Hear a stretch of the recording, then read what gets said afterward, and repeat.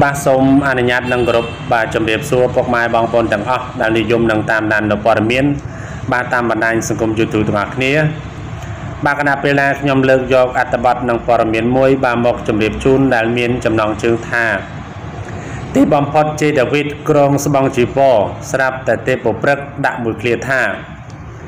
បាទមុនចូលទស្សនានិងតាមដាននៅព័ត៌មានមកសូមប្រិមិត្តកុំភ្លេចបាទជួយ like subscribe និង share និងសញ្ញារូបបណ្ដឹង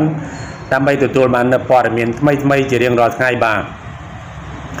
ប្រិមិត្តជាច្រើនបានជ្រាបហើយថាតារាចម្រៀងពូការ៉េតជេដាវីតនិងកញ្ញាទេពព្រឹកកាន់តែមានភាពអែមល្ហែមឡើងផ្អែមល្ហែមឡើងដោយអ្នកទាំងពីរបានតាក់ទងគ្នាអស់រយៈពេល4ឆ្នាំមកហើយពេលនេះពួកគេទាំងពីរនាក់កាន់តែមានជីវិតហឺហា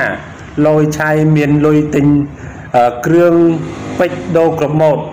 ព្រមទាំងប្រើប្រាស់សម្ភារៈម៉ាកល្បីៗទៀតផង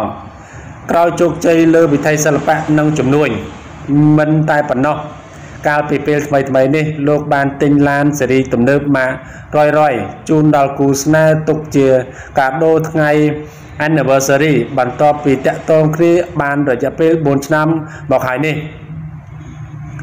យ៉ាងណាមិញគេសង្កេតឃើញថាតារាចម្រៀងពូការ៉េតជេដាវីតបើក បង្ហាញការ live តារារូបនេះកំពុងតែរៀបចំបួសធ្វើជាព្រះសង្ឃ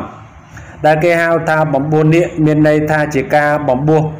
កុលបុត្រមិនថាក្មេងឬចាស់ឡើយឲ្យតែបុគ្គលនោះមានសទ្ធាចង់ខ្លាយជាព្រះសង្ឃ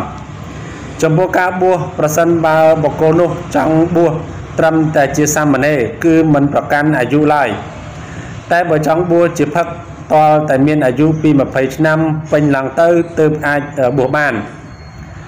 ឯបកគលដែលហៅថាគ្នាគឺជាអ្នកដែលត្រូវបួសស្ថិតក្នុងពេលរៀបចំពិធីបួសនោះឯងលុះពេលដែលបំពោះរួចរាល់បុគ្គលនោះនឹងក្លាយជាព្រះសង្ឃលែងជានាគទៀតហើយ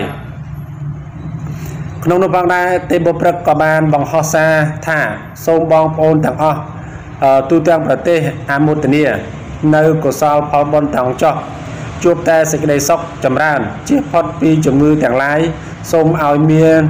អឺមោទនភាពជាឲ្យឆ្ងាយសត្រូវទាំងឡាយត្រូវសូមឲ្យคลายជាមិត្តប្រាថ្នាអ្វីបានដោយសម្រេចដោយបំណងសេចក្តីល្អនឹងនាំឲ្យយើងជួបតែភាពជោគជ័យ បាទឥឡូវនេះលោកជាដាវីតបាទប្រិមត្តបានជ្រាបហើយបាទឥឡូវនេះគាត់ប៊ូហើយជាព្រះសង្ឃបាទបាទសូមថ្លែងអំណរគុណប្រិមិត្តដែលបានតាមដាននៅព័ត៌មានបាទសូមអរគុណនិងសូមជម្រាបលា